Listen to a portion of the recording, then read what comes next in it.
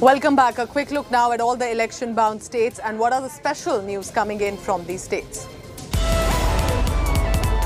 Union Minister Smriti Irani campaigning in the election bound state of Manipur. Smriti joined these folk artists in a dance performance in Wangkhei area of Imphal East. Manipur is set to vote on 27th February for phase 1 of elections.